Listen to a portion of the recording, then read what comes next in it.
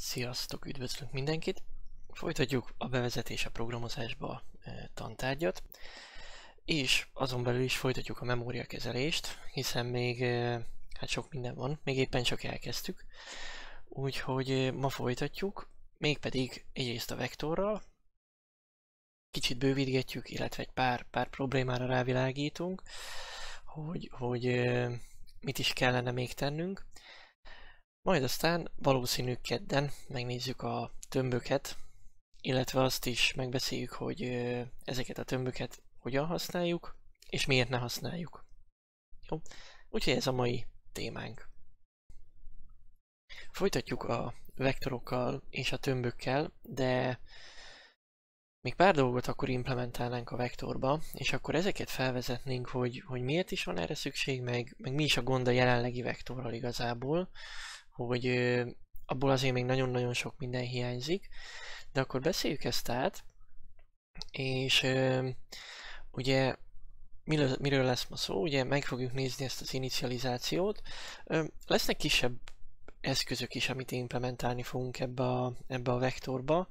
Ugye nem csak a memóriakezelés kapcsán lesz érdekes, hanem, hanem más egyéb kapcsán is. Úgyhogy megnézzük ezt a inicializációt, és átbeszéljük, hogy, hogy hogyan is működik ez. Aztán beszélünk memóriakezelésről, mégpedig a másolásról és a mozgatásról. Fölvetjük a problémát, és akkor uh, szerintem uh, reményeim, reményeim szerint világos lesz mindenkinek. Aztán jönnek a tömbök. Uh, valószínű ez már, ez már uh, kedre tolódik. Persze majd meglátjuk, hogy hogy haladunk. Aztán jön a végül a array és pointer problémák, tehát rávilágítunk arra, hogy, hogy milyen, milyen nehézségeket, milyen problémákat okozhat, hogyha ilyen alacsony szintű programozási eszközöket használunk, mint tömb és pointer, de nyilván meg kell tanulni, odaérünk, akkor beszélünk róla. Jövő héten meg majd az utolsó három ilyen kis résszel folytatjuk, de ezt majd akkor. Jó, szóval miért is érdekes, csak egy kicsi emlékeztető így a, a, a, a vektor, hogy miért is érdekes. Üm, tulajdonképpen jó lenne megnézni azt, hogy hogyan működik valójában, és ezen keresztül bemutatnánk ilyen alapvető programozási eszközöket, illetve ilyen programozási fogalmakat, mint freestore, meg másolás, mozgatás, illetve megnézni azt, hogy hogyan működik egy ilyen dinamikusan változó méretű adatszerkezet. Jó, hát ez eléggé hasznos ö, dolog. És akkor ennek kapcsán ugye azt beszéljük át tulajdonképpen, hogy hogyan kezeljük a memóriát, ö, és ez adhat némi ö, kis iránymutatást ö, alapvető ö, szényelvi eszközökhöz is. Meg kell nézni ezeket is, mert sok cégkód van még odakint, ö, higgyétek el, hasznos ezt megnézni, illetve nagyon sokan, amikor C++-ba programoznak, tulajdonképpen C-be programoznak, de ez most nem olyan érdekes. Jó, és akkor uh, nyilván emiatt előjönnek ilyen osztálytervezési szempontok, technikák, uh, és néhány példa nem túl szerencsés, uh, és e-, ezzel szemben jó kódokra is. Jó, úgyhogy csak egy kis emlékeztető, hogy miért is csináljuk ezt, hogy ne felejtjük el. Na és akkor ez lesz majd az első ö, példánk, hogy ö, olyat szeretnénk, hogy így szeretnénk inicializálni a vektorunkat, ö, ugye ahogy tudjuk is, a, a standard ö, template library vektort ezzel a ö, kapcsolózárójeles elemeket felsorolós módszerrel, ö, és akkor el fogjuk használni majd ezt a inicializáló listát, megnézzük majd ö, mindenképpen. Ez lesz az első példánk, Viszonylag egyszerű egyébként, szóval ezzel olyan nagyon sokat nem is kell töltenünk. Odaérünk, megnézzük.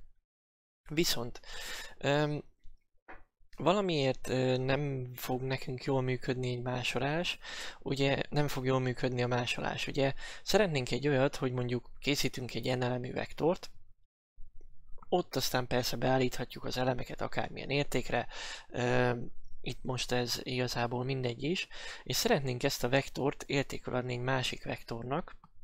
Hát mi történjen ilyenkor ugye? Um, nyilván beépített típusoknál ugye az érték átmásolódik mondjuk egy integernél, ha azt mondjuk, hogy int a legyen egyenlő b, akkor a b értéke átmásolódik az a uh, integer objektumnak a, a, az értékeként, semmi különös. Hogyha esetleg emlékeztek a date osztályra, elvileg illene emlékezni, mert mostanában volt a határideje annak a drillnek, akkor ö, ott ugye a másolás annyiban volt egyszerű, hogy az egyes ö, adattagoknak az értéke átmásolódott, tehát lemásolódott az év, lemásolódott a hónap, lemásolódott a nap, igazából semmi különös nem volt ott se, alapvetően. Erre szoktunk mondani azt, hogy a, a alapértelmezetten az objektumok másoláskor a tagoknak az értéke másolódik le, tehát az egyes, ö, egyes tagoknak az értékét fogjuk lemásolni. Jó, hát ez így alapvetően nem tűnik olyan rossznak, ö, de meglátjuk majd, hogy itt ez mit jelent. Szóval szeretnénk lemásolni ö, a vektorunkat. Jó. Hát itt megint valami hasonló, itt, ha jól látom, itt üresen inici- nem is ad neki semmi kezdőt. Hát ez itt megint misztikus, hogy akkor itt mi történik. Hát majd meglátjuk. Szóval ideálisan ez azt jelenti, hogy, hogy V2 és V3, tehát ugye V2 is, meg V3 is, ugye V-nek a másolatai lesznek, hiszen az egyenlő operátor ezt csinálja. Ugye alapvetően ez lenne a feladata. És hát ugye az, hogy minden memória felszabadul F után, hát ez megint ideális lenne. Ugye itt vektorban ugye a FreeStore-ba használunk memóriát, hát most itt elkezdünk másolgatni, Hát ugye azt várnánk, hogy V-nek is, V2-nek is, meg V3-nak is az által lefoglalt memória terület felszabadul. Ugye, mert a FreeStore-ba használunk memóriát. Na most, a standard vektor az így is működik, tehát amit eddig használtatok, Standard Template Library és Vector, az így működik, tehát az, az rendben van, viszont a miénk nem. Na és akkor ezt nézzük meg, hogy itt mi a gond. Ugye, ahogy mondtam, másoljuk az adattagokat, tehát copy the data members, nagyon fontos. Ugye nyilván itt létrejön egy másod, hát milyen adattagjaink vannak a vektorban, most csak gyorsan fölvillantom itt nektek a, a forráskódot. Ugye van egy S, meg van egy double csillag elem. Jó, hát az S az a vektor aktuális mérete, az alapvetően tök jó, hogy lemásolódik, mert nyilván ha készítünk egy vektorra egy másolatot, akkor az ugyanannyi elemű lesz, tehát a vektor mérete jó, ha egy az egybe így, így másolódik. Viszont mit, mit, mit jelent az, hogy egy pointer másolódik? Hát ugye beszéltük azt, hogy egy pointernek is van egy értéke, mégpedig egy memória cím. Jó? Hát tudjátok, emlékeztek, az a hosszú, hexadecimálisan kifejezett szám, egy memória cím. Na igen ám, de hogyha azt az egy, egy memória címet egy az egy belemásoljuk, akkor tulajdonképpen csak annyi történik, hogy most már két pointerünk lesz ugyanarra a memória területre.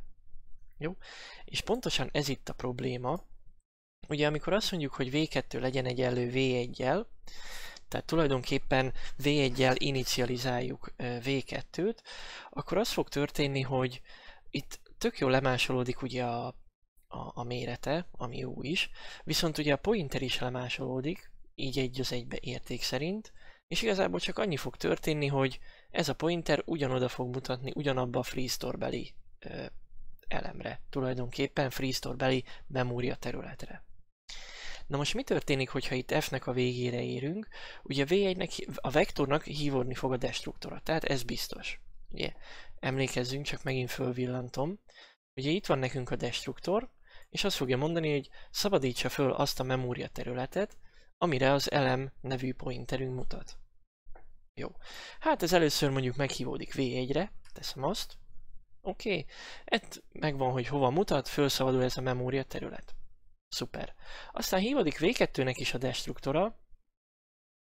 Hát akkor mi történik? Hát megpróbálná felszabadítani megint ezt a memóriát. Hát azt meg nem igen lehet. Jó, azt nem igen lehet. Um, hát itt írtam, hogy katasztrófa történik F után. Hát azért annyira nem nagy katasztrófa, viszont ez nem működik, tehát ez így nem lesz jó. Ugye V1 elemeit kétszer töröltük, de hát hogyan? Hát hogy lehetne? Jó. Ne foglalkozzunk vele, az a lényeg, hogy ez itt nem lesz jó, meg valószínű nem is ezt akartuk. Jó. Rendben van. Na nézzük tovább. Ugye itt hasonló az értékadás, ugye hiszen itt látjuk, hogy ugye a másoló inicializációnál az akkor történik, ugye látjuk itt copy initialization van, ez akkor történik, amikor létrehozunk egy új vektort, jó, tehát látjuk, hogy itt ö, deklaráljuk ezt az új vektort, definiáljuk, és értékül adjuk neki v1-et. Jó?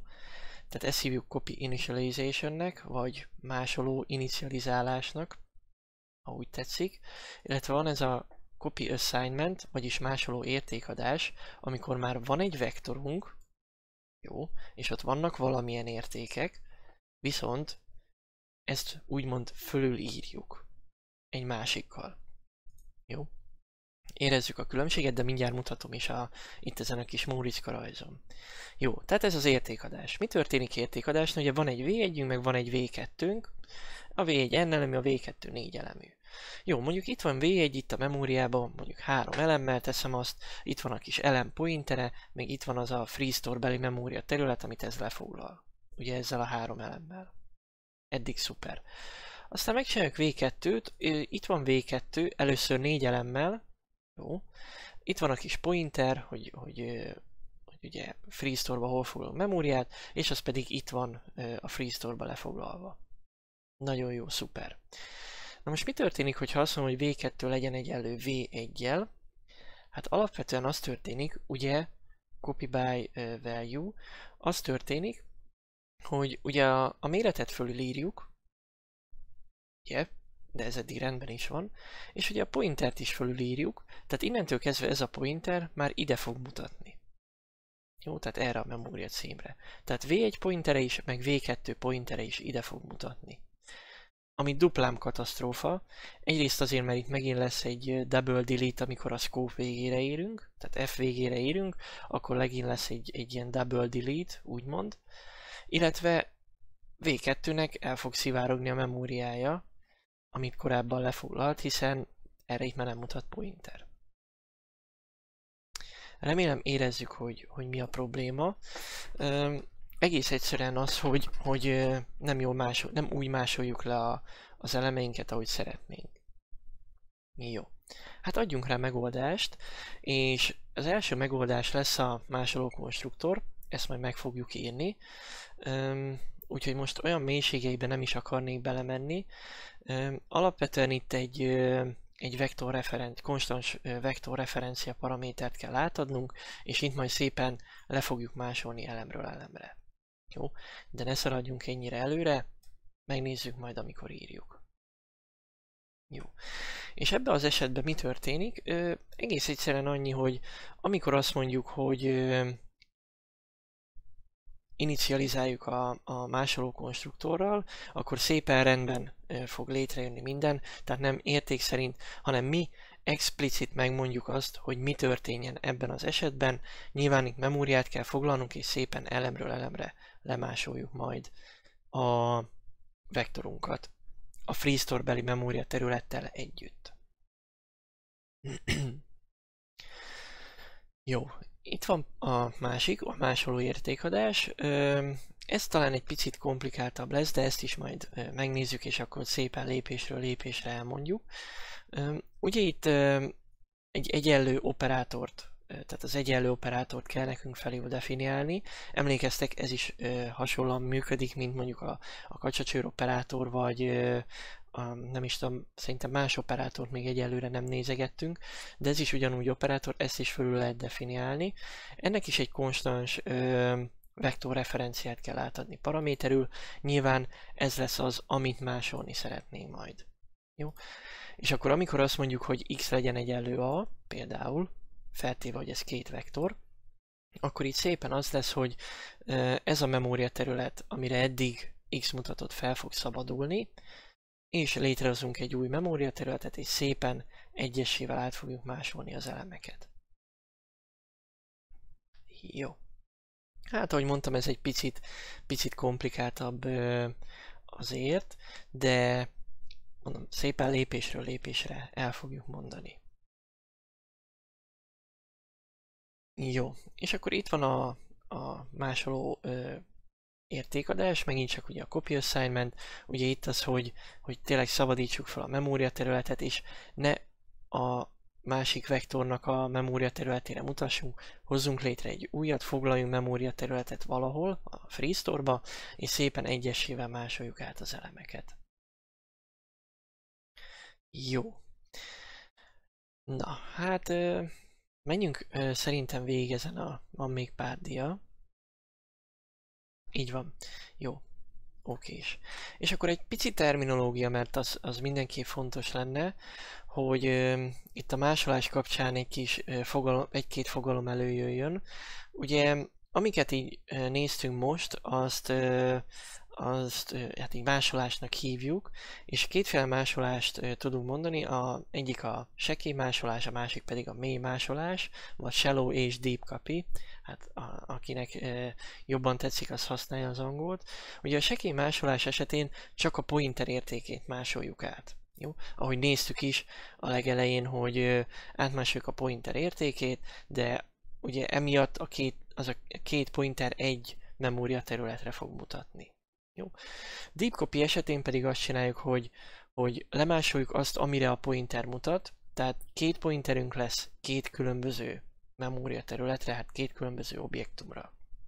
Jó, és akkor itt ábrával csak, hogy lássuk, ugye itt ez a, a shallow copy, hogy uh, itt van például x, itt van x-nek a másolata, és tulajdonképpen ez ugyanarra a memória területre mutat. Ellenben a deep copy, amikor ö, le, le akarjuk másolni x-et, akkor nem csak a pointer értékét másoljuk át, hanem foglalunk memória, memória te, ja, bocsánat, itt, ö, itt foglalunk memória területet, és átmásoljuk y-nak az értékét is. Jó? Tehát nem csak arról van szó, hogy itt a, a pointereket másolgatjuk, hanem sőt, hát pontosabban nem is másolgatjuk, hanem létrehozunk egy új, foglalunk egy új memóriaterületet, és arra állítjuk rá, és igazából azt másoljuk le, amire mutat a pointerünk. Rendben. Jó, úgyhogy ez lenne a, fő különbség, és akkor itt is láthatjuk ezt egy, egy másik szemszögből bemutatva. Ugye Nyilván itt most, hogy melyik elemnek az értékét módosítjuk, első körben létrehozunk egy ilyen integer vektort, és inicializáljuk két elemre.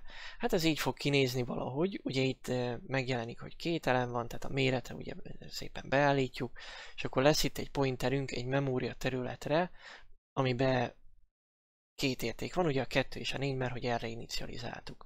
Na most lemásoljuk, ugye látjuk, hogy ez egy, ez egy másoló inicializálás, és itt V2 akkor tulajdonképpen, ha jól működik, akkor egy másik memória területre kéne, hogy, hogy mutasson, és ezt is fogjuk csinálni egyébként. Tehát szépen itt létrehozzuk a, a vektorunkat, ugye beállítjuk a, a, a méretét, foglalunk memória területet, egy, nyilván egy külön memória területet ettől, foglalunk memóriát, és a pointert e, ugye nyilván ráállítjuk a megfelelően, ahogy kell. Na most, hogyha azt mondjuk, hogy v2 0 legyen egyenlő 3, tehát a v2 vektornak a legelső eleme legyen egyenlő 3, akkor itt kellene e, módosulnia, és itt is fog módosulni, ha jól csináljuk. Ha jól csináljuk, akkor itt fog módosulni. Jó. Ellenben, hogyha nem lenne deep copy, akkor nyilván ez a pointer ide mutatna, ugye, tehát erre a memória területre, és amikor azt mondjuk, hogy v2 0 legyen egyenlő 3, akkor ez változna meg, tehát ez az, ennek az elemnek az értéke lenne 3. Ami hát probléma, ugye? Mert v1 értékét nem akarjuk módosítani, de hát nem csak ebből a szempontból probléma, hanem memória management szempontjából is. Jó. Hát sekélymásolásra mondhatnánk példaként ugye a, mondjuk a referenciákat, bár nem feltétlenül szerencsés, de akár mondhatnánk ezt is. Ugye emlékszünk, hogy hogyan működnek a referenciák. Van egy objektumunk, ugye ez a B nevű objektum, ez egy integer, 9-re van állítva kezdetben. Ráállítunk egy R1 meg egy R2 referenciát, ugye ezt megtehetjük. Mi a referencia? Ugyanaz az objektum, csak más néven szólítjuk, ugye ha emlékszünk, vagy egy automatikusan dereferenciált immutable pointer, de ebbe most nem menjünk bele.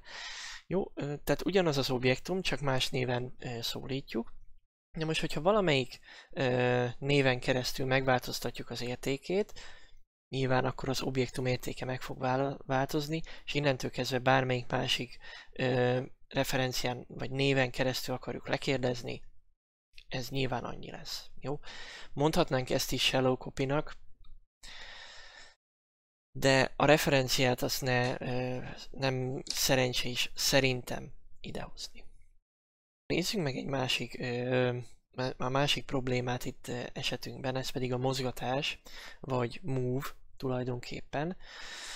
Mi is itt a szituáció? Van egy függvényünk, ami mondjuk annyit csinál, hogy itt létrehoz egy vektort, és szépen föltölti valamilyen double elemekkel. Jó, hát sok-sok double elemet teszünk egy vektorba, igazából lehet, hogy több ezer vagy több tízezer ilyen double értéket. Oké. Okay. Na most a végén mondunk egy ilyet, hogy adjuk vissza ennek a vektornak a... Tehát adjuk vissza a vektort.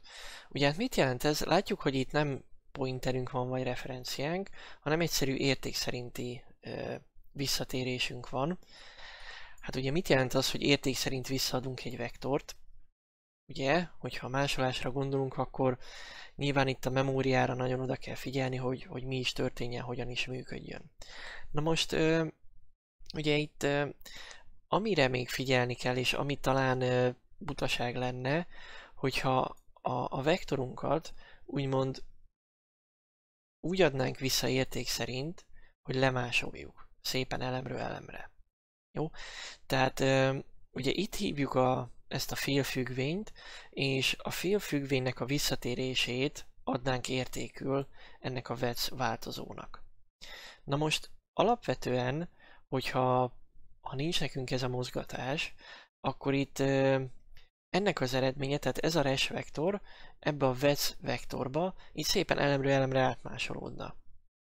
És ez meglehetősen erőforrás igényes, nem biztos, hogy szerencsés ezt követni. Szóval itt írja is, hogy költséges lehet, hát meg még akár butaság is lehet. Szóval kell valami, kell valami, amivel ezt meg tudjuk oldani. Erre fogjuk használni majd a, a mozgatást, hogy ezt megoldjuk. De hogyan is néz ez ki pontosan? Ugye a return előtt ugye úgy néz ki, hogy van nekünk a vec vektorunk kívül, ugye itt a hívás, hívási helyen, itt van a vec vektor. Ez nincs inicializálva, ez csak így egyelőre ott van, úgymond. Ugye a, a félben van nekünk a res vektorunk, amiben valamilyen értékek vannak, igazából most teljesen mindegy, mondjuk itt a, egy három elem, van egy pointerünk, ami egy memória területre mutat, és akkor itt vannak valamilyen értékek. Hát ez az, amit ugye föltöltöttünk a fillen belül. És amikor visszatérünk, igazából csak annyit szeretnénk, hogy egyrészt nyilván másoljuk le az értéket, ugye a, a méretet pontosabban, hogy hány elemű, az különösebben nem érdekel, és így csak annyit csináljunk, hogy a pointert állítsuk rá erre a pointerre. Miért szeretnénk ezt? Azért, mert igazából ugye a res vektort a return után már úgyse fogjuk használni. Tehát ezt a vektort, ezt a rest, miután itt returnölünk, már úgyse fogjuk használni. Tehát mi történne vele? Fölszabadítaná a memóriát, ugye kimegyünk a scope-ból, a, ugye a destruktor fölszabadítaná a memóriát. De ne szabadítsa fel a memóriát, hanem azt a memória területet, ahol van, egész egyszerűen adjuk oda vecnek. Jó? És tulajdonképpen ez fog itt történni, hogy ezt a memória területet, amit itt a res refoglalt, meg föltöltött értékekkel, azt itt egész egyszerűen odaadjuk vecnek, pontosabban ellopjuk vecnek. Ami még ilyen administratív, hogy resnek a méretét nullára kell állítani, és egy ilyen speciális null pointer értéket kell a, a mutatójának adni. Technikai jellegű dolog, majd megnézzük, hogy ez miért fontos. Jó? Tehát miért, miért lényeges ez? Mert a res úgyis eltűnne a memóriából, tehát a destruktor úgyis kitakarítaná. Nekünk itt csak annyit kéne ten, tenni, hogy, hogy, hogy tényleg ezt a memória területet így odaadjuk vecnek. Tehát, hogy a destruktor ne szabadítsa föl, odaadjuk vecnek, onnantól kezdve pedig vec fogja használni. Miért jó ez? Ugye három elem nem, nem az, hogy le kell másolni szépen egyesével, és akkor ö, új memóriaterületet foglalni, az előzőt felszabadítani. Általában ezek az ilyen memória foglalás, felszabadítás, másolgatások, ezek meglehetősen erőforrás igényes ö, feladatok vagy műveletek. Ö, ha lehet, igyekezzünk kerülni. Ezt például így tudjuk elkerülni. hogy egész egyszerűen ellopjuk resnek a memória területét. Jó. Pár ilyen záró gondolat itt ennek kapcsán, hogy ezek ilyen úgymond szükséges műveletek. Tehát nyilván van egy konstruktorunk egy vagy több paraméterrel, majd lesz egy alapértelmezett konstruktorunk is, hamarosan írunk egy olyat is, és ugye amikor ö, valamilyen memória területet használunk a FreeStore-ba, akkor ezeket implementálnunk kell, tehát a másoló konstruktor, másoló értékadás, mozgató konstruktor, mozgató értékadás és a destruktor. Jó? Tehát ezeket mindig implementálnunk kell, hát praktikusan akkor, ha van pointer adattagunk. Jó, nagyon egyszerűen fogalmazva. Üm, és hogyha egyet, egyet definiáltál, akkor, akkor definiáld mind, mert úgy fog megfelelően és, és jól működni a, az, az adatszerkezeted. Pontosabban a, a, az objektumod. Jó, ezt egyébként Rule of Five-nak hívjuk, technikai dolog, nem olyan érdekes. Egy dolgot fogunk még itt majd megnézni, még remélhetőleg a mai napon, ez pedig az access. Ugye jelenleg úgy néz ki, hogy ilyen, ilyen set meg get függvényünk van, de hát ez azért nem túl elegáns így a vektornál, úgyhogy meg el fogjuk készíteni azt, hogy ezzel a, a szögletes zárójel operátorral működjön a, a, az access, tehát a, az elemhez hozzáférés, és akkor egyrészt az, hogy értéket is tudjunk adni, illetve értéket is tudjunk ö, elkérni, úgymond, és akkor ez most már így, ö, így fog működni, nem ezzel a set gettel, hát ez azért nem néz ki valami ö, szépen, oldjuk meg így. Jó. És akkor itt, ami még lesz, hogy mi is lesz? Ja igen, hogy ezt referenciákkal fogjuk megoldani, de majd ha odaérünk, akkor beszélünk erről. Kezdjük el az inicializáló listás konstruktorral. Ugye itt hagytuk valahol abba, remélem, hogy legalábbis, hogy itt hagytuk abba, emlékeim szerint igen. Úgyhogy itt látjuk, hogy egy ilyen egyparaméteres konstruktorunk van. Tulajdonképpen ez annyit csinál, hogy memóriát foglal annyi darab elemnek, amivel példányosítjuk, és szépen itt ki, kinullázza az elemeket, tehát ad neki kezdőértéket. Jó, hát ez egy egyparaméteres konstruktor, ezzel egyébként majd gondunk is lesz, de majd ezt később javítjuk ki.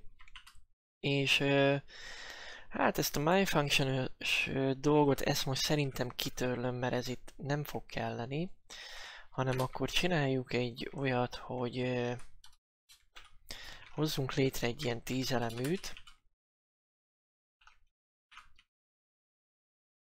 És próbáljuk ki, hogy működik-e. Remélem legalábbis, hogy jó lesz.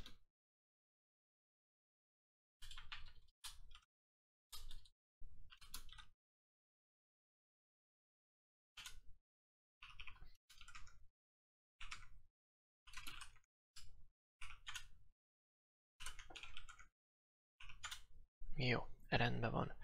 Jó, tehát ahogy, ahogy látszik is, ez a egy paraméteres konstruktor, ez tényleg csak ennyit csinál, hogy annyi elemnek ö, foglal memória területet, ugye nyilván beállítja a méretet is, illetve szépen kinullázza az összes elemet.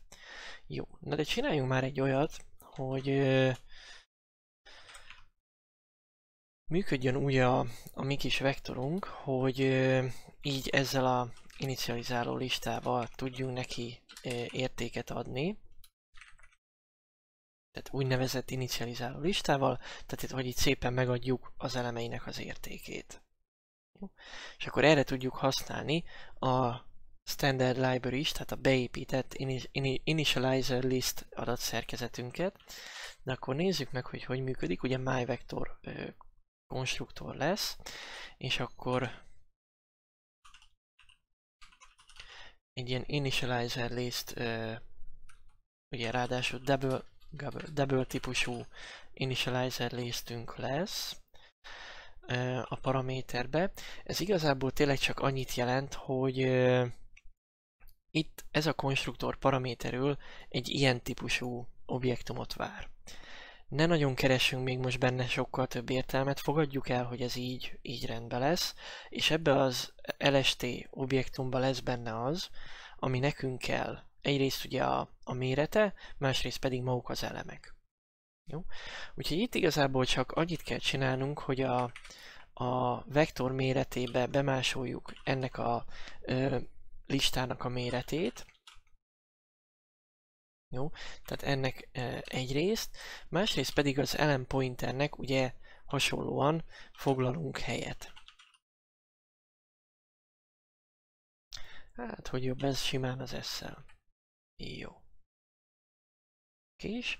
Viszont azért másoljuk itt is át az elemeket, mert ugye egyelőre még csak annyi történt, hogy ugye, ö, ugye beállítottuk a méretet a, a, a megfelelő értékre, illetve annyi történt, hogy foglaltunk memóriaterületet. Jó? Hát most akkor töltsük is föl a memóriaterületet, és én erre azt javaslom, hogy használjuk a beépített copy függvényt, csak hogy lássunk ilyet is. A copy függvénynek pedig három paramétert kell adni. Egyrészt azt, hogy, hogy mit másolunk, és melyik elemtől kezdődően, illetve az, hogy meddig másolunk, és hogy hova. Jó? Tehát még egyszer, használjuk a copy függvényt, mert szerintem ez egy elég hatékony megoldás lehet itt. Ugye meg kell mondani azt, hogy honnan másoljunk és meddig, illetve az, hogy hova. Jó, hát ez ilyen intervallumos jellegű másolás, később majd lesz erről szó, hát Befprogon nem, majd meglátjuk, hogy, hogy lesz-e róla szó, reményem lesz, lesz róla szó, hogy ezek egyébként ilyen iterátorok, de most még nem akarok előre szaladni. Igazából ez annyit jelent, hogy a, ennek, a, ennek a listának, tehát ennek az inicializáló listának az elejétől a végig másoljunk le minden elemet, és azt, azt a memória területet kell neki megadni, ahova másoljunk. Jó, hát itt most ez az elem pointer lesz, mindegy, maradjunk annyiba, hogy csináltuk volna egy kis for ciklussal is, vagy, vagy bármi, lássunk ilyet is, szerintem mindenképp hasznos. Jó. Rendben van. Na hát próbáljuk ki, hogy egyáltalán működik-e, és akkor ö, írjuk is ezt ki.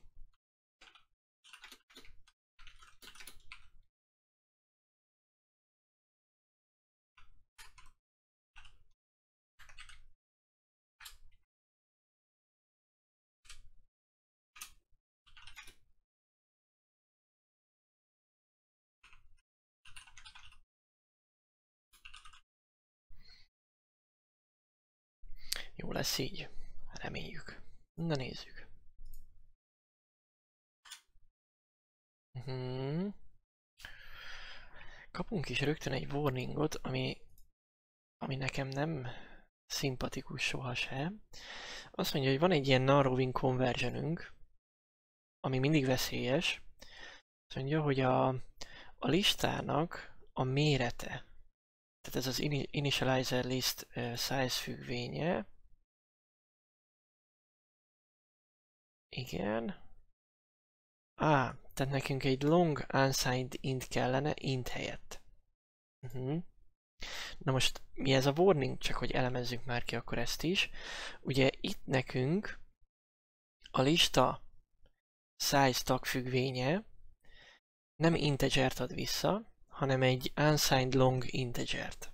Na most a kettő között az a különbség, hogy, hogy az unsigned long integer az egyrészt előjel nélküli, tehát ott van még egy bitünk.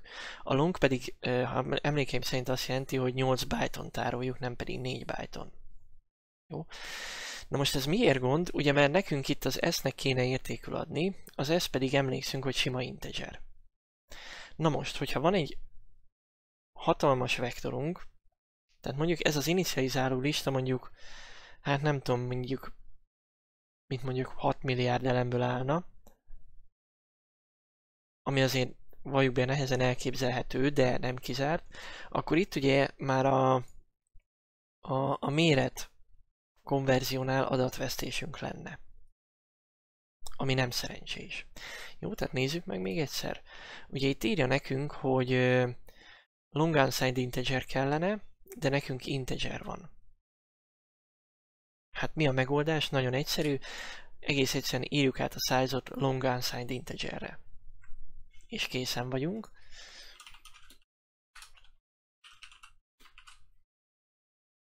Jó, és akkor innentől kezdve az S típus, ez a long unsigned integer lesz. De azért próbáljuk ki. Jó, most már nem kapunk warningot, úgyhogy ha minden oké, akkor uh, rendben is vagyunk, és akkor fut, próbáljuk is ki. Nagyon jó. Na egyrészt kiírja a tizet, miért írja ki a tizet? Mert itt ugye benne maradt az előző vektor, másrészt pedig ugye látjuk, hogy itt az inicializáló listával szépen értéket adtunk a vektorunknak. Pillancsunk rá, ugye a memória kezeléshez nem nyúltunk, de azért nézzünk rá, hogy rendben vagyunk-e. Így van, rendben van. Jó.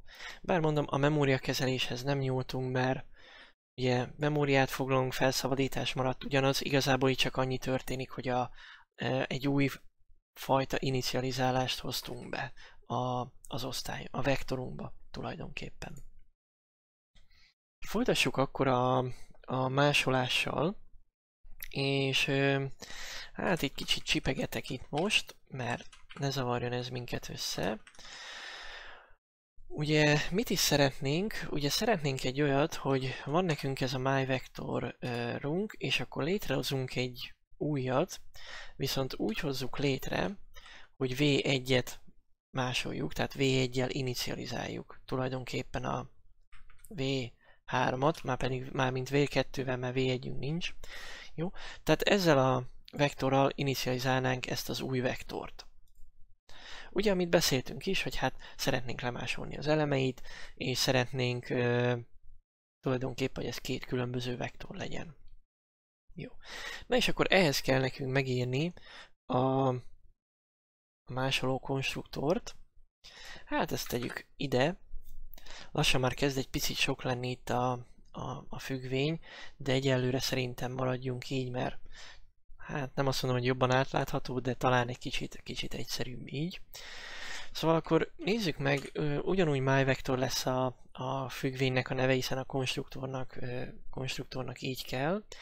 És akkor itt azt csináljuk, hogy átadjunk egy ilyen konstans referenciát egy myvector típusú objektumra, és ugye egyrészt azt csináljuk, hogy a méretet simán csak átmásoljuk, itt igazából nem különösebben van dolgunk, hát használjuk már így az inicializálást, csak hogy lássunk ilyet is. Illetve foglaljunk le memória területet, hiszen az most nekünk nincsen egyelőre.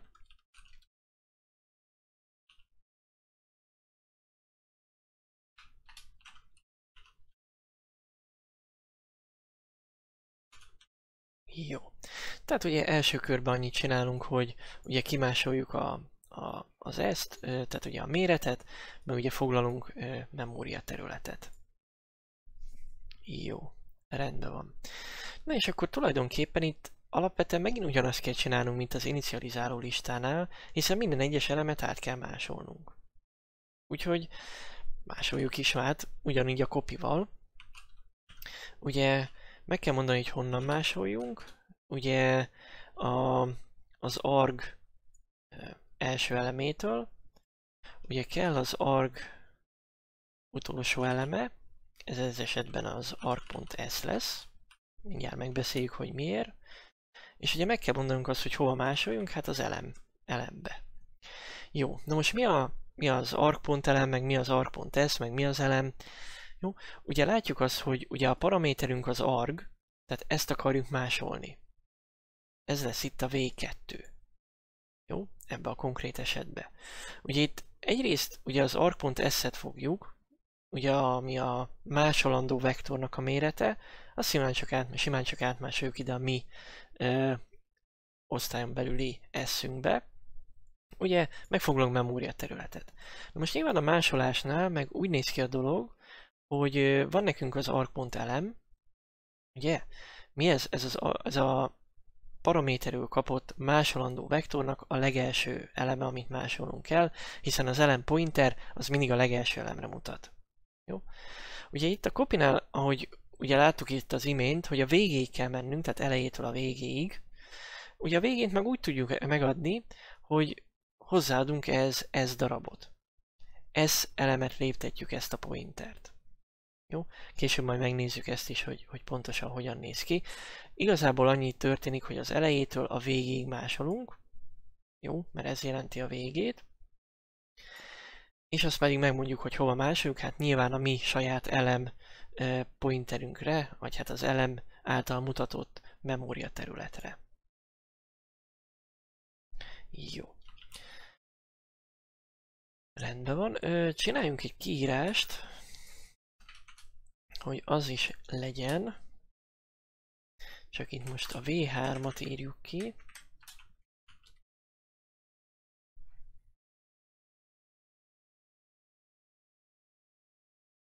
Jó. És próbáljuk meg, hogy működik-e. Elvileg működnie kellene.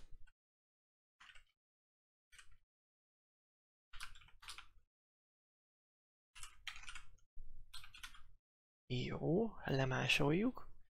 Oké, okay, rendben van, jó. Tehát itt van az első vektorunk, itt meg a második vektorunk. Jó. Na de hát nem állhatunk meg itt, meg kell néznünk, hogy jól használjuk-e a memóriát. És tökéletes, picit föntebb tudom, hogy lássátok. Nagyon jó, no leaks are possible, tehát jól használjuk a, a memóriánkat. Oké is.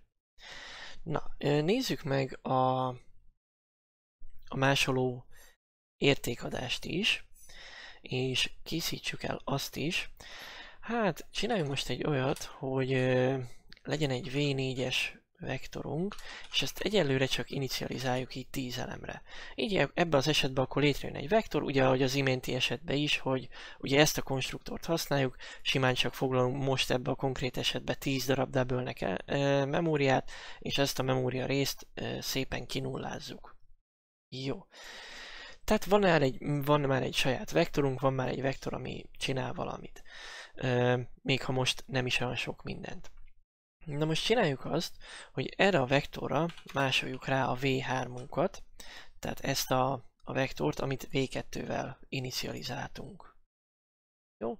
És majd ezt is ki fogjuk írni. Ugye ellenőrzésnek, hogy jól csináljuk-e.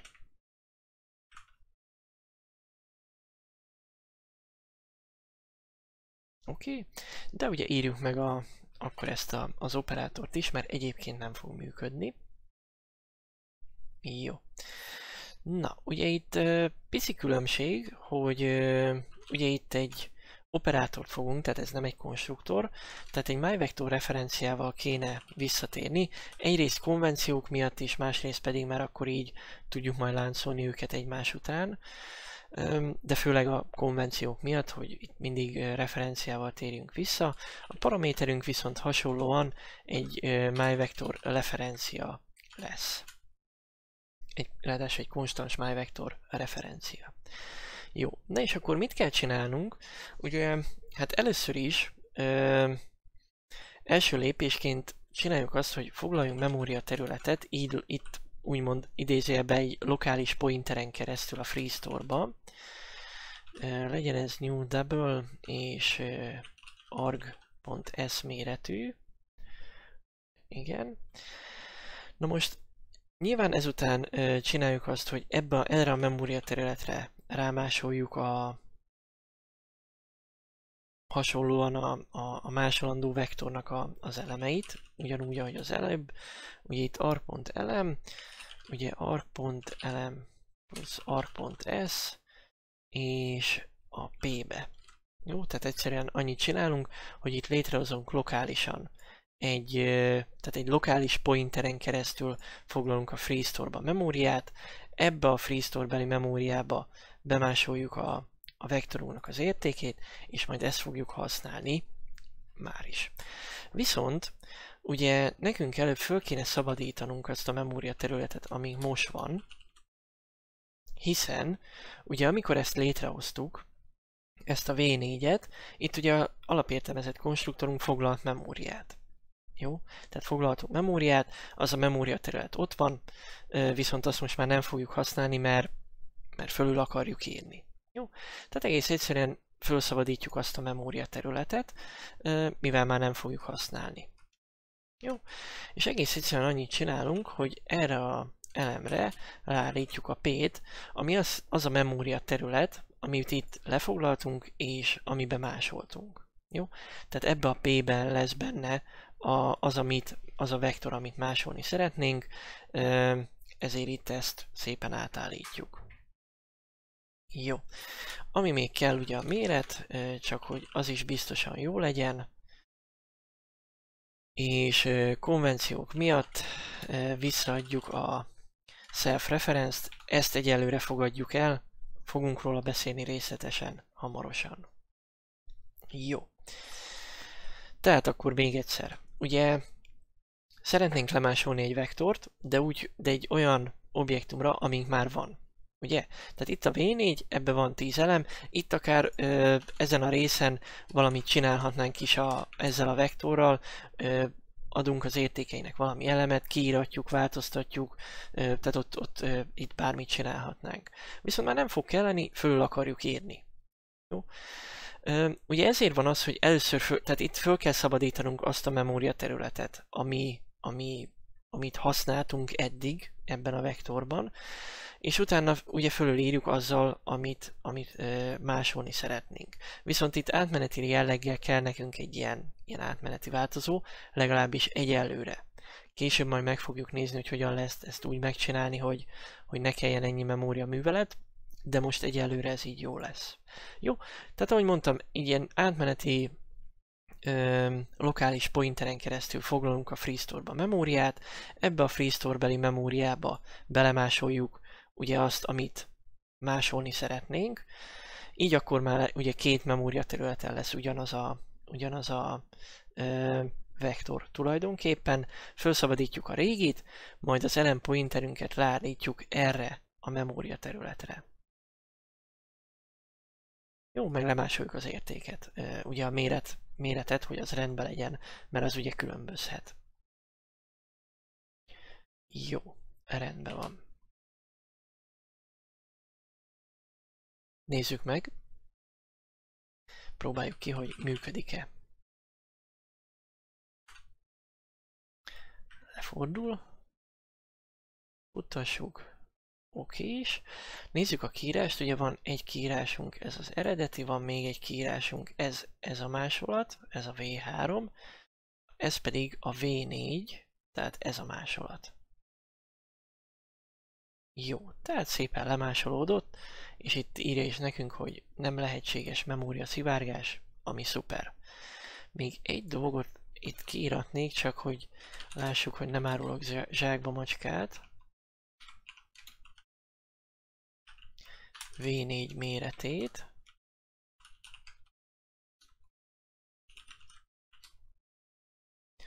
Meg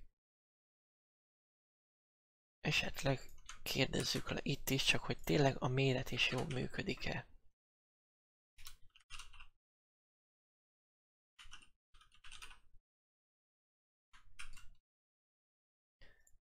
Beszédes uh, debug üzenetek. Jó, tehát uh, V4 mérete a értékadás előtt, és V4 mérete az értékadás után. Úgy csak, hogy tényleg lássuk, bár nyilván itt akkor már kaptunk volna valami range error exception jellegű dolgot, de nézzük meg. Uh-huh. Jó, hát annyi plusz, hogy V4 méret a, az assignment előtt 10, ami ugye jó, mert itt 10 elemre inicializáltuk. V4 mérete az értékadás után 3, mert ugye a, a V3 az, az 3 elemű volt, Ugye, tehát akkor lemásolódott nyilván a, a méret is. Nézzük meg a mozgatást, amit, amit említettem is. Ugye akkor a másolással, ha minden igaz, rendben vagyunk, úgyhogy akkor menjünk tovább. Hát ezt itt most megjavítom. Mondom, megjavítom, erre elrontom. Jó, tehát uh, menjünk akkor tovább. És ö, nézzük meg ezt a mozgatást, de oly módon, hogy egy ilyen függvényhívásba ágyazzuk, pontosabban függvényhívás segítségével. Létrehozunk egy myvektort, ugyanúgy, ez legyen mondjuk V5, csak hogy haladjunk sorba, és itt hívjuk ezt a fill függvényt, ahogy az imént is láttátok, ugye itt a prezentációban is valami hasonló volt, és aztán fogunk majd egy olyat is csinálni, hogy ugye, ugye ez a mozgató inicializás pontosabban, a mozgató konstruktor ebbe az esetbe, de fogunk egy olyat csinálni, hogy egy már létező vektornak fogunk értéket adni. Így mozgatáson keresztül. Jó. Na és akkor erre írjunk egy, egy nagyon egyszerű kis függvényt, ami ugye egy ilyen myvector típussal fog visszatérni. Hát kellenek paraméter, szerintem most ne bonyolítsuk. És annyit csináljunk, hogy itt lokálisan létrehozunk egy ö, myvektort, legyen a neve mondjuk temp, és adjuk neki kezdő értéket, hát de valami, valami mást, Oké, és, és adjuk vissza.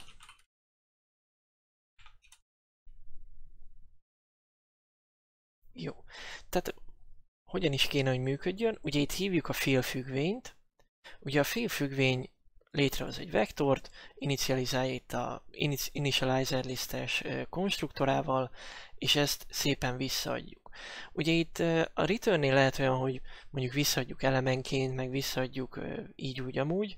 Hát itt ugye a mozgató konstruktort fogjuk hívni, tehát igazából nem elemenként másolgatjuk át, hanem egész egyszerűen úgymond ellopjuk a temp vektornak a pointerét, és ennek a temp vektornak a pointerét ide V5-be átmásoljuk. Így, nagyon egyszerűen. Jó. Na de készítsük el akkor a, a mozgató konstruktorokat. Konstruktor lesz, tehát myvector a neve. Ö, ugye itt annyiban lesz más, hogy ugye paraméterbe ö, ugyanígy myvektort adunk, csak így ez a két és jellel úgymond. Ez a két és jel annyit jelent, hogy ez a mozgatás. Jó? Semmi különöset ne nézzünk bele. Itt annyit, ezzel jelezzük azt, hogy, hogy itt ez a, ez a mozgatás lesz és ugye egyrészt át kell másolnunk a méretet, tehát azt, azt, azt mindenképp muszáj, illetve át kell másolnunk a pointert. Tehát simán csak ellopjuk a pointert. Jó, viszont ne felejtsük el, hogy nullázzuk is ki, tehát egyrészt ugye nullára állítjuk a, annak a méretét, amit el akarunk úgymond lopni, illetve az elem pointert pedig erre a speciális null pointerre kell állítanunk. Jó, ö, miért kell ezt megtennünk? Hát nyilván a nullára állítás szerintem az egyértelmű. Igazából ez nem is lenne muszáj, csak ugye a teljesség kedvéért, hogy ez, ez rendben legyen. Ugye az elem pointert meg null pointerre kell állítanunk. Hát miért? Mert a, akkor, amikor itt a tempünk a scope végére ér, akkor a destruktor ne szabadítsa fel azt a memória területet, amit itt ez lefoglalt. Na, tehát miért kell? Ugye itt létrehozzuk a, a tempet ebbe a függvénybe, foglalunk neki memóriát, használjuk, itt sok más egyebet is tudnánk még vele csinálni, igazából teljesen mindegy. Amikor azt mondjuk, hogy return temp, akkor ugye úgymond vissza végére érünk ugye ennek a scope-nak, és a scope végén a myvector destruktora automatikusan meghívódik. Ugye? Hol van a destruktor? Itt van. Ugye itt ez a destruktor meghívódik, és ez a delete elem utasítás, ez felszabadítaná azt a memória területet, ahol a tempünk van. De hát mi ezt nem szeretnénk, mert mi ezt oda akarjuk adni, ugye annak, amire ugye hívtuk a függvényt, tehát oda akarjuk adni ezt a memória területet itt most V5-nek. Hát akkor ne szabadítsa föl, mert akkor, ha felszabadítja, akkor nem fog jól működni. Jó? Ezért annyit csinálunk, hogy ezt a pointert null pointerre állítjuk, és akkor már nem fogja felszabadítani. Jó?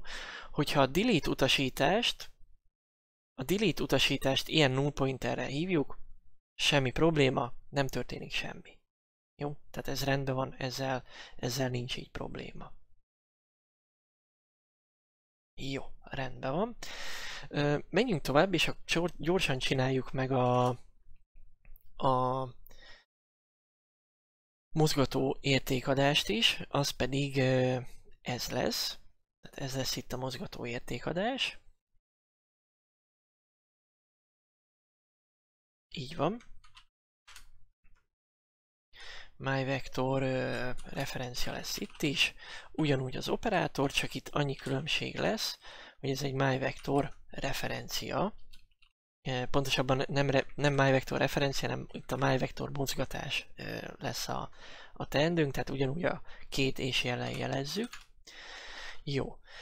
Ugye első lépésben azt kell tennünk, hogy a régi memória területet szabadítsuk föl, mert ez már úgyse fog kelleni. Kicsi zárójelben majd ezen is egy picit fogunk optimalizálni.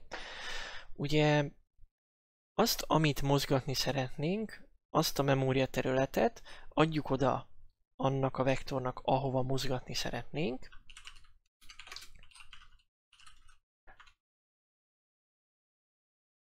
Ugye? Tehát ez az, amikor a pointert ellopjuk tulajdonképpen. Nyilván a méretet is állítsuk be, tehát annak is rendbe kell lenni. Viszont ne felejtsük el, hogy akkor azt, amit el akarunk lopni, pontosabban amit már elloptunk, azt állítsuk null pointerre, ugyanúgy, mint ahogy itt is tettük. Jó. És nullázzuk ki a méretet is. Hát ez nem biztos, hogy mu muszáj lenne, de tegyük meg, ez így teljes a dolog. Jó. És mi, ahogy operátorunk van, konvencionálisan térjünk vissza a self-reference-el. Legalábbis reméljük, hogy jól működik. Na, és akkor tesztelgessünk egy kicsit. Jó, itt van nekünk ez a két ö, értékadás, pontosabban mozgatás. Hogyan kéne ezt? Hát az értékeket nyilván írjuk ki, de itt most lehet, hogy a méret az nem olyan érdekes. Szóval itt akkor kiírjuk V5-öt,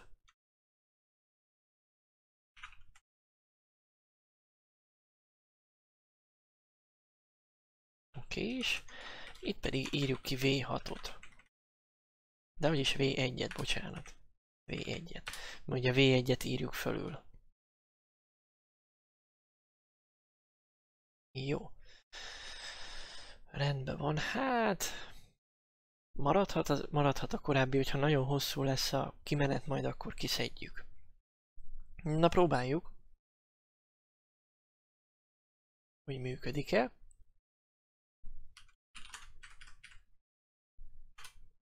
Uh -huh. Ó. Oh.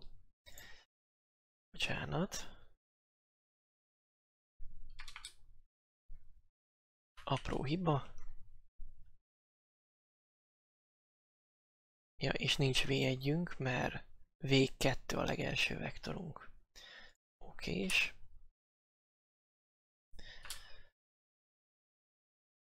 Jó. Úgy tűnik, hogy működik. Futtassuk is le, és rögtön Volgrind-dal elemezzük. Jó, na és akkor itt látjuk azt, hogy Ugye V5 fill, hát itt van egy, hogy V4 size, ezután kéne nézni, itt van ez a V5 és ugye a fill hívás, és látjuk, hogy a V5 szépen kiíródik, ez rendben van, utána pedig itt van ugye V2, de ugye V2-nek elejébe ez volt az értéke, itt a legelső kiírásunk, és ezt itt fölírtuk, ugye a félfüggvény visszatérésével. És innentől kezdve már 15 és így tovább. Jó? Ahogy itt ezeket az értékeket adtuk. Na most nézzük meg a, a memória kezelésünk, hogy rendben van-e. Mm, ugye itt látjuk, hogy Total Heap Usage 0, 8 allokáció, 8 felszabadítás, ez eddig bíztató, in-use exit 0 byte, és akkor minden heap block felszabadítva, no are possible, illetve semmi más hiba üzenetet nem kaptunk. Jó, rendben van, rendben van. Hát úgy néz ki, hogy akkor működik a dolog. Nézzük meg ezt a debugolás részt hiszen így azért nem túl beszédes a dolog. Öm, Tehát ugye, hát lefut ez a program, de hát ha Volgrind nélkül futtatjuk, ugye Volgrind azt tényleg csak azért kell, hogy jó használjuk a memóriát, tehát lefuttatjuk és így, hát jó, de most mit, mit tudom én, hogy tényleg hívódik a másolás, meg a mozgatás, meg ilyesmi. Úgyhogy ar- erre fogunk csinálni egy ilyen kis uh, debug függvényt, ami csak ki fogja írni azt, hogy hol vagyunk és mi történik. Jó, úgyhogy itt a privát részbe írjunk egy ilyen debug függvényt, mert igazából uh, igazából nem akarunk uh, nem akarjuk most ezt kívülről hívni, ez csak itt belül magunknak egy kis, egy kis hiba követés. Jó, és uh, alapvetően egy string paramétere lesz, amivel azt fogjuk átadni, hogy éppen hol vagyunk, és ki fogjuk írni egyrészt a pointerünket, tehát a memória címet, úgymond, ahol vagyunk, pontosabban az objektumunk, ahol helyet foglal a memóriában, de ezt majd mindjárt látjuk. Ugye, hát, dobjunk ide egy nyilat. Írjuk ki azt, hogy hol is vagyunk.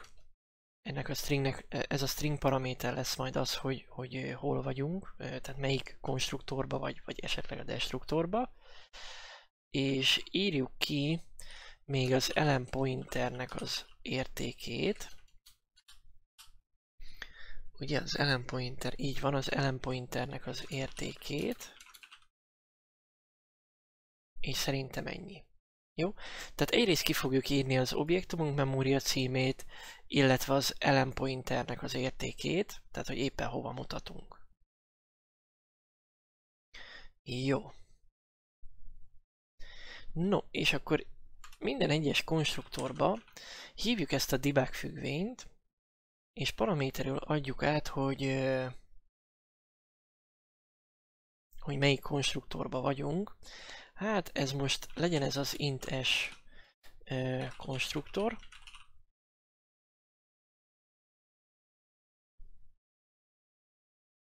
Így van, mert ez a inteses konstruktor. Erről majd mindjárt beszélünk, hogy ez miért nem szerencsés így, de egyelőre okés. Jó, és akkor itt csináljunk mind, tényleg minden egyes konstruktorba egy ilyen hívást, csak ezt írjuk át, hogy ez már a inicializáló listás konstruktor.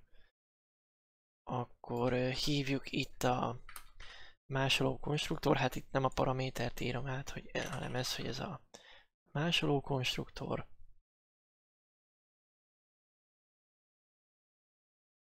És ez a ez nem is konstruktor, hanem ez a másoló érték értékadás. Ugye? Igen. Jó, ez a másoló értékadás. Menjünk tovább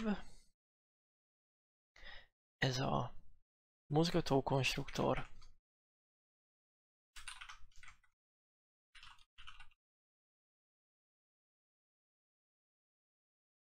ez pedig a mozgató értékadás. Jó, szuper. Dobjunk egyet a de destruktorba is, viszont akkor ezt egy picit áttördeljük így. Itt csak annyit írunk, hogy destruktor. Legalábbis remélem, hogy jó lesz. Jó. Oké, és hívjuk a field, szerintem ezek maradhatnak így.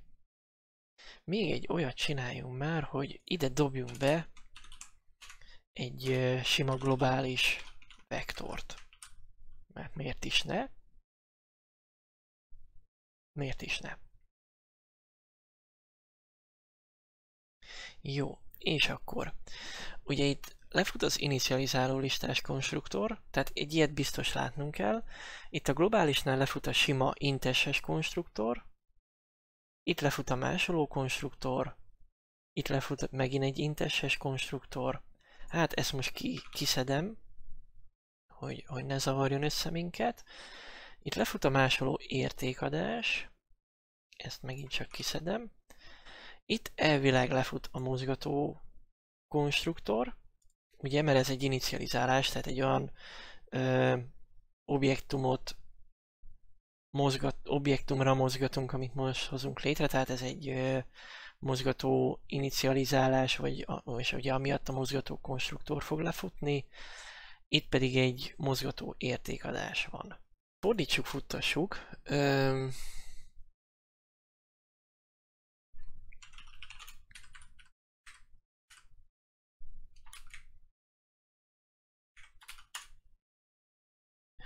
Meglepő, hogy lefordul. Vektor 6. Oké. Okay. Van itt minden, van itt minden. Jó, na most. Öm... Oké. Okay. Egy apró dologgal egészíteném ki a dolgot. Öm... És ezt most, hát csak úgy röviden. Ugyanis egy technikai dolog, tényleg csak nagyon röviden. Ugye a volt már ismerjük, tehát ez annyi, hogy kiír minden egyes warningot. Na most ugye így sok-sok kapcsolót tudunk egymás után tenni. Ugye amivel valamit jelzünk a fordító programunknak, tehát konkrétan itt a G++-nak, ugye ami nekünk problémát okozna, hogy ezek a fordítók már elég jól optimalizálnak nagyon sok mindent. Amikor itt azt mondjuk, hogy hívjuk ezt a félfüggvényt, és ezzel adjunk értéket ennek a V5-nek, a fordító tudja azt, hogy igazából ebbe a függvénybe csak annyi történik, hogy létrehozunk egy vektort, és azt rögtön vissza is adjuk. Jó? Na most nyilván ő ezt úgy ki fogja optimalizálni, hogy igazából úgy megoldja ezt a vektor inicializálást, létrehozást, hogy a függvényhívás meg se történik. Nem akarok tényleg itt nagyon most zavart kelteni a fejekbe, úgyhogy nem akarom túl magyarázni. Igazából azért kell nekünk ez a, ez a kapcsoló, hogy ne optimalizálja ki ezt a dolgot, tehát igenis legyen ott az a függvényhívás, és igenis ott legyen az a return. Ne használjátok egyébként a valóságban, mert ezek a fordítók tök jól optimalizálnak mindent, meg tényleg hát az esetek döntő többségében nagyon jól működnek. Én most csak azért használom, hogy lássuk a hibakövetést. Jó? Úgyhogy én most így fogom ezt lefordítani, csak hogy tényleg lássuk azt, hogy, hogy pontosan mi történik. És akkor látjuk, hogy itt bizony van kimenetünk, nem is kevés. Végig fogunk ezen most menni, és akkor hát nagyjából itt is fejeznénk be a dolgot. Hát még egyet megnézünk. De ezen most végig kéne mennünk, és elmondom, azt szeretném, hogy ezt mindenki értse meg, hogy mi történik, és hogyha ezt megértitek és átlátjátok, akkor szerintem a memóriakezeléssel itt a, az, az objektumok kapcsán szerintem rendben is vagytok. Na, kezdjük az elején, ez nem lesz rövid és tegyünk mellé a, tegyünk mellé a forráskódot. Hát amennyire tudjuk, szerintem tudjuk. Többnyire. Jó, na most, hát valamennyire tudjuk. Jó. Na, itt vagyunk rögtön az elején. Ugye mi az, amit látunk? Ugye itt van a mainünk, és a mainbe létrehozunk egy vektort v2 néven, és ennek ugye az inicializáló listás konstruktorát fogjuk használni. Na most, ugye itt rögtön látjuk, hogy nem ez történik az első lépésben, hanem itt látjuk, hogy egy intes konstruktor hívásunk van. Hát ez egész egyszerűen azért van, mert itt van nekünk egy globális vektorunk, és ez a, a main előtt fog úgymond lefutni. Tehát ezt azelőtt ö, már létrehozzuk, mielőtt ö, elkezdenénk a main végrehajtani. Hát a globális változóknál ez így van. Ö, először azokat betesszük a memóriába, és azok, ö, azok után, hogy ezeket megtettük, elkezdjük végrehajtani a main-t. Jó. Na most látjuk azt, hogy ennek van egy memória címe, ugye mit írunk ki először a debug függvénybe? Ugye a dist. A dist pedig egy pointer magára az objektumra, tehát itt most esetben, ez esetben egy pointer lesz globra, tehát erre az objektumra. Jó? Hát ennek a glob vektornak, glob objektumnak ez a memória címe. Remek, rendben van. Jó, itt látjuk, hogy ö, ugye az intes konstruktorán keresztül példányosítottuk, nyilván ahogy azt várnánk is, mert hogy, hogy egy számot, egy integert adtunk át neki értékül, rendben van. Oké, és emellett kiírjuk az elem pointerünket is. Ez az a rész, ahova azt a 10 darab elemet, 10 darab double most betettük a memóriába. Ez annak a memória címe. Hát itt is van valami memória cím. Szuper. Rendben van. Hát nyilván a kettő nem ugyanaz, természetesen, hiszen itt ez, egy, ez magának a, a myvector típusú objektumnak a címe, ez meg a benne lévő elem pointer. Jó? Tehát nyilván ez különbözik. Szuper, menjünk tovább. Oké, és itt már látjuk, hogy belépünk a mainbe, első lépésként létrehozzuk ezt a V2-t, és értékül, értékként ezt a initializáló listás konstruktort fogjuk használni, ez fog neki értéket adni. Hát látjuk, hogy ez is hívódott, tehát ez a initializer list típusú konstruktor. Ugye Megint csak van egy memória címe ugye az objektumnak, ugye ez a, a, a V2-nek a címe, illetve itt az elem pointernek is van egy címe, ugye ez pedig az a, az a memória terület, ahol, ahol a Free Store-ban helyet foglal ez a három uh, double típusú elem. Rendben. Menjünk tovább, ugye itt megtörténik ez a kiíratás, uh, szuper, igazából uh, semmi különös, minden rendben van. Jó. Ez a kiírás ugyanaz, mint az imént is. Oké, és na, készítsük el V3-at, de úgy, hogy lemásoljuk V2-t. Jó? Látjuk, hogy itt ez történik, tehát a másoló konstruktort hívjuk. Jó, hát ilyenkor a másoló konstruktor hívódik. Nézzük meg a, a memória címeket. Üm, ugye ez V3-nak a címe. Látjuk, hogy ez más, mint V2. Ugye, tehát különböznek, még ha nem is olyan nagyon, de azért, azért különböznek eddig rendben vagyunk, tehát V3 és V2 két különböző objektum, ezt is várjuk. És akkor írjuk ki a, az elem pointert is, és látjuk, hogy ez az elem pointer is különbözik, mint azt, amit másoltunk volna. Ugye, mint mondtunk az elején? Az, hogy a sekély másolás az azt jelenti, hogy csak a pointer értékét másoljuk, a mély másolás az, hogy nem a pointert másoljuk le, hanem azt, amire a pointer mutat. Tehát így, akkor a, az elem pointerünknek nyilván két különböző értéke kell, hogy legyen, mert két különböző memória címre kell mutatnunk. És hát ez itt különbözik is. Látjuk, hogy itt van mi 4340 a végeit, meg 3ED0. Akkor elvileg rendben vagyunk, ugye a kiíratás pedig mutatja azt is, hogy, hogy ö, sikerült a másolás. Tökéletes, nagyon jó. Oké, és mi van itt utána? Utána van egy ilyen intes konstruktor, így van, mivel hogy itt létrehozunk egy, egy újabb vektort, ugye ezt azért hozzuk létre, hogy majd ki tudjuk próbálni a, a másoló értékadást, de itt létrehozunk egy új objektumot, semmi különös, ennek is van valami címe, oké. Jó. Na menjünk tovább, és ugye itt az történik, hogy V4-re rámásoljuk V3-at, is. Tehát tulajdonképpen V3 másolata lesz V4, de úgy, hogy fölülírjuk. És látjuk itt, hogy a másoló értékadás hívódik. Tökéletes, mert egy pontosan ezt akartuk, hogy ez hívódjon. Jó, na mit látunk itt? Ugye az objektum címe az ugyanaz, tehát V4, V4, nyilván, mert hogy, hogy azt írjuk fölül. Ö, és nézzük meg az elem pointert is. Hát az elem pointer is itt ugyanaz, Nyilván, mert hogy V4 pointerére másoljuk rá, tehát a V4-nek azon FreeStore beli memória területére, ami eddig is használtunk, tehát oda másoljuk rá. Viszont ugye ez különbözik, mint V3E, ugye? Az nagyon fontos, hogy különbözzön. És itt látjuk, hogy különbözik is, hiszen V3 ö, memória e, elem pointere, tehát FreeStore beli memória, ezért 4340, ez megint 4380. Nagyon jó.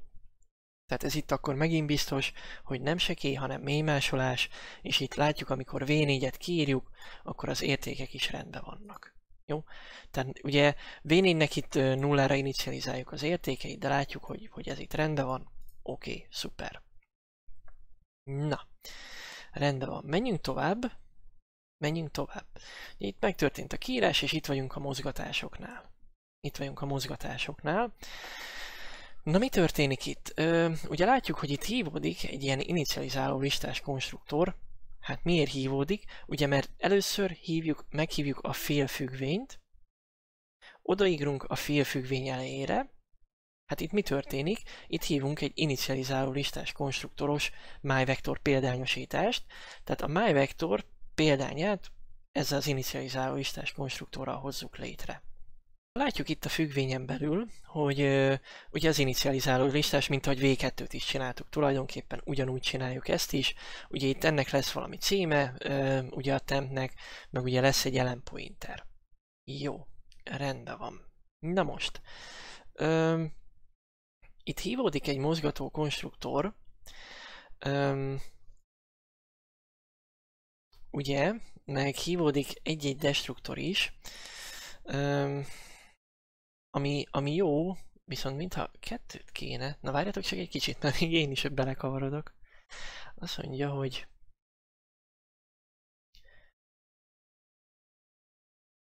Oké, okay. ott hívódik a destruktor, és itt kiírjuk. Aha. Jó, ja, jó, jó, jó, rendben van, én vagyok a hülye. Uh, már pedig igyekszem, hogy ne legyek az. Jó, na most, uh, egy ilyen kis technikai dolog. Kis technikai dolog, hogy magát a tempet először bele kell mozgatni a return value-ba is, és utána tudjuk visszaadni. Jó, először vissza kell tennünk. Ez tényleg egy kicsi technikai dolog. Hogy magát a tempet bele kell mozgatnunk ide ebbe a return statementbe is úgymond, és azt utána tudjuk visszaadni a hívási helyre. Jó. Ezért van itt az, hogy két mozgató konstruktor hívásunk, meg két destruktor hívásunk van. Jó? De ez tényleg csak egy ilyen, ilyen kicsi technikai dolog. Ami itt lényeges, azt látjuk, hogy Ugye itt a memória címek azok így rendben vannak. Jó? És az elem pointernek a címe az, ami fontos nekünk. Jó? Tehát itt létrehozzuk ezt az objektumot. Oké, okay? ez a temp objektum. Ezt először belemozgatjuk ö, ebbe a return statementbe, majd utána ö, felszabadítjuk. Jó? Ö, és ugye itt látjuk már, hogy a destruktorunk hívódik, az elem pointerünk meg nulla. Tehát rendben vagyunk, mert nullára állítottuk a... Hát itt kírhatná az, hogy null pointer, de a nulla is megteszi. Uh, igazából ugyanazt jelenti. Jó? Na most, ugye itt a mozgató konstruktorunk akkor szépen elkezd működni, és szépen itt látjuk, hogy az elem pointerünk az végig ugyanaz. Jó, tehát ez itt szépen végig ugyanaz. Tehát így akkor rendben vagyunk. És ugye a destruktorunk is működik, mert hogy tulajdonképpen itt semmit nem fog így ebben a konkrét esetben felszabadítani. Mondjuk az is hozzátartozik, hogy nem biztos, hogy itt a leglátványosabb a mozgató, a mozgatásnak a, a működése, hanem majd ezt megnézzük itt a, más, a mozgató értékadásnál. Jó? De a lényeg az, hogy a destruktorunk nem szabadít föl semmit, itt konkrétan, és az elem pointerünk az szépen ö, ugyanaz, és szépen megy abba a vektorba, amibe mennie kell. Nyilván itt nem akarunk semmiféle memória műveletet csinálni, csak tényleg úgymond ellopni magát a, a pointerünket, ellopni azt a memória területet, amire itt ezt a három elemet rátettük. Jó. Nézzük meg, itt van egy kiírás, ez továbbra is működik, tehát ugye uh, itt kívül V5-öt, amikor kiírjuk, tökéletesen rendben vagyunk, uh, az íródik ki, ami kell. Jó.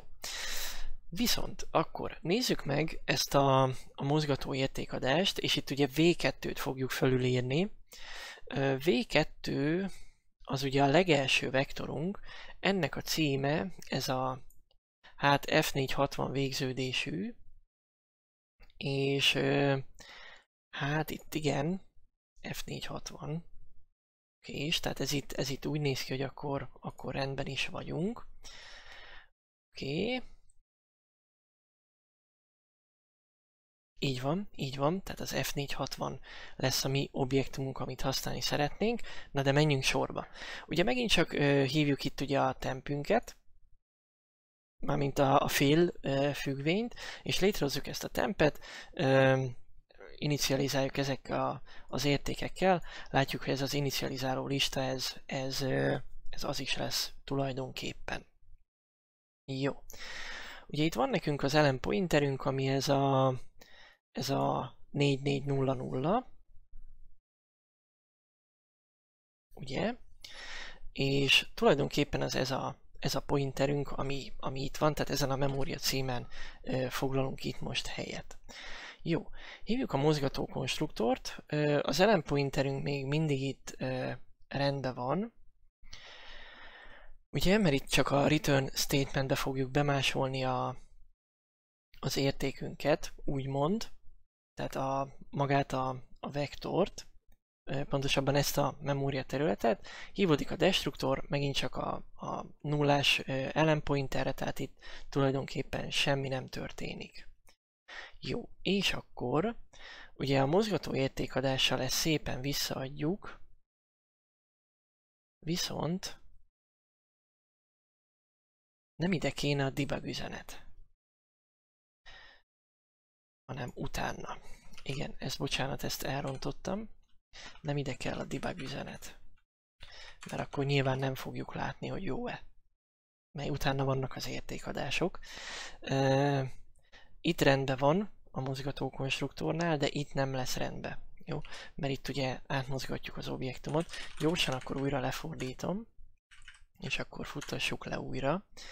E, jó, és akkor így már, így már látszódik, mert itt az imént még a régi ellenpointernek az értéke volt, és az nyilván nem jó nekünk. Jó, na tehát akkor megint itt vagyunk, és picit föntebb tudom, csak hogy látszódjon. Jó, tehát akkor megint itt vagyunk, megint hívjuk a mozgatókonstruktort, látjuk, hogy a destruktor nem szabadít sem, föl semmit, és itt a V2-be, hát nyilván ez a memória cím, ez most megváltozott. Nézzük meg, hogy ez -e. Így van, ez a 2BD0, ez a V2 vektorunk, amit ugye fölülírunk, és ugye V2 2BD0, ugye? 2BD0, így van.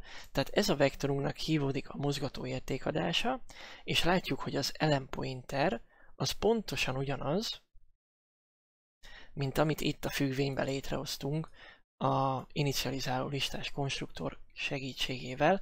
Tehát ez a memória terület pontosan ö, megegyezik. Jó. Ennek nagyon örülök, ö, főleg, hogy megtaláltam ezt a, ezt a kis hibát. Ö, mert így akkor rögtön látszik, hogy tulajdonképpen itt tényleg csak ellopjuk a pointert. Jó, tehát ez ugyanaz a memória terület, mint amit itt a félfüggvényben lefoglaltunk. Itt a V2-n belül is ugyanez lesz. Jó. Rendben van. Ami még itt történik, ugye a scope végére érünk, és hívódik egy csomó destruktor. Ugye ez a... Hát mi ez a 2C0? Hát talán ez V3, a 2BF0, ez itt V4, akkor van ugye a 2BE0, ez a V3, 2BD0 az a V2, illetve A260, ez pedig ugye a globális vektorunk. Globális vektorunk. Jó, hát ez nem, nem a main végén, hanem még utána e, fog kitakarodni a memóriából, de látjuk, hogy itt csak a destruktor hívások vannak már a scope végén. Levezetésként csak tényleg ilyen kis könnyed, hát ehhez képest könnyed téma, akkor ezt elmentem egy új fájlba, és akkor ez a vektor, ez a hatós verzió lesz majd a, a debugos, mert innen csak a hívásokat kikommentelem. Jó? Csak hogy egyszerűsítsük a dolgunkat.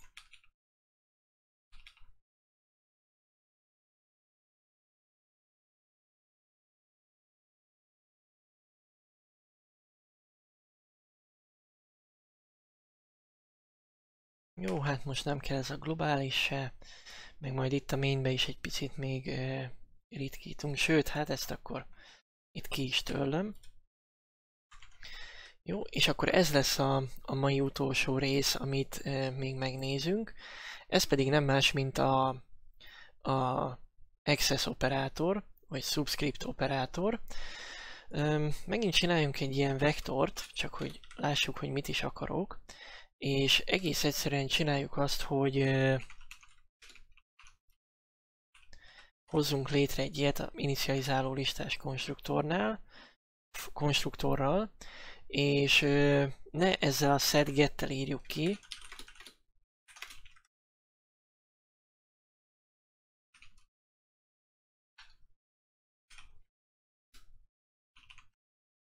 hanem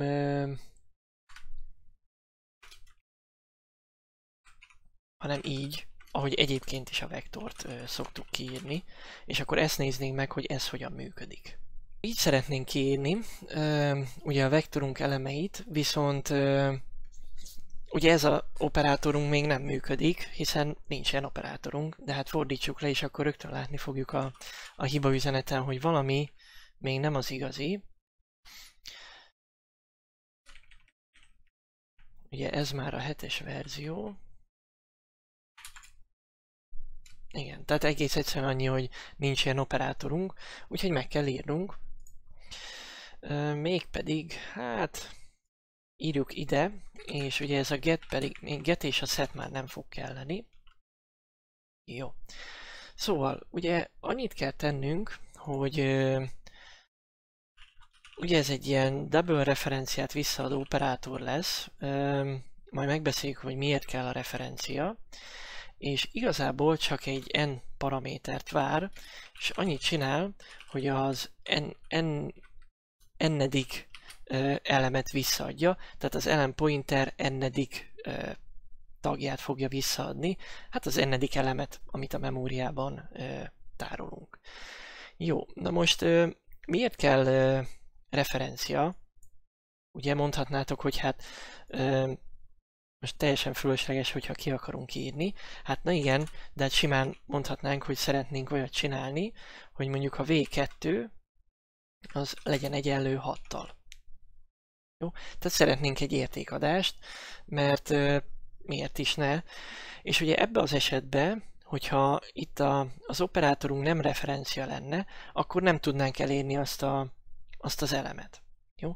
Tehát igazából ebbe az esetben, hogyha ez itt referencia, akkor tulajdonképpen ez a, ez a V1-2, ez a harmadik elem lesz konkrétan. És így, hogy referencia, így már értéket is fogunk tudni neki adni. Ugye, hogyha nem referenciát adnánk vissza, hanem csak értéket, akkor ez itt nem működne. Jó? Hát ez szerintem működne továbbra is, valószínűleg, igen, ez, ez működne, viszont ez nem működne, tehát nem tudnánk értéket adni. Jó? Ezért kell a operátornak, hogy referenciát adjon vissza. Jó. Oké, és de azért próbáljuk ki. Lefordul, és ha minden igaz, le is fut. Tökéletes. Jó? De azért írjuk ki itt még egyszer. Hát, vagy ezt lehet, hogy inkább behozom ide a kiírás elé, és akkor rögtön fogjuk látni.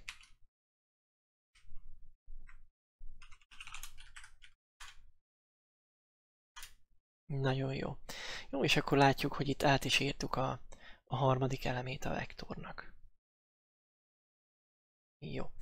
Egy apró megjegyzés, csak mert, hogy teljes legyen a dolog, Hát pontosabban két megjegyzésem lesz még. Az egyik az, hogy ebből az operátorból kell nekünk egy ilyen konstans változó is, konstans változat, bocsánat, konstans változat is, és az nyilván már nem referenciát fog visszaadni, hanem értéket. Ez alapvetően azért kell nekünk, hogyha létrehozunk egy olyan vektort, ami konstans, tehát így, nyilván más néven, akkor is tudjon működni, hiszen, hogyha nem írnánk ezt oda, akkor ez problémát okozna, hiszen akkor lenne egy olyan olyan operátorunk, amin keresztül egy konstans objektumnak az értékeit meg tudjuk változtatni, és az nem szerencsés. Jó? Úgyhogy ez tényleg csak egy ilyen apró megjegyzés, úgymond const correctnek kell lennie a, az objektumunknak. Fordítsuk le, megint futtassuk, és akkor így már rendben is vagyunk. Ha ezt kihagyjuk, akkor egyébként egyből hibát jelez nekünk, már rögtön a fordító. Így van. Tehát egész egyszerűen az, hogy, hogy ez itt probléma. Jó, tehát ez, ez, ez, egy, ez egy probléma itt. És itt rögtön jelzi, hogy itt a, a, a referencia lesz neki a, a gond, hogy referenciát adunk vissza. Jó, de tényleg ez csak azért, hogy, hogy, hogy teljes legyen a dolog. Ez az egyik. A másik problémánk pedig az, még itt ezzel a myvectorral, hát csinálok egy, hát csinálok egy újat,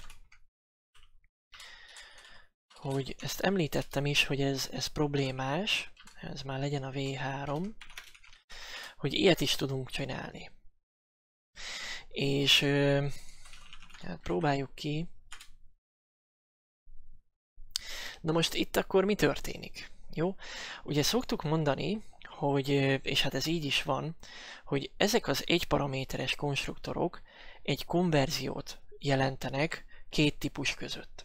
Na most ebbe az esetben, ö, amit mindjárt megjavítunk, ez a konverzió egy ö, integert konvertál a myvector típusra, ami hát nagyon nem jó, mert hát hogyan konvertálnánk egy, egy uh, integert myvector típusra. Úgyhogy, úgyhogy ezt meg kell javítanunk, mert ebbe az esetben ugye az történik, tehát ez ugyanaz, mint hogyha azt írtam volna, hogy uh,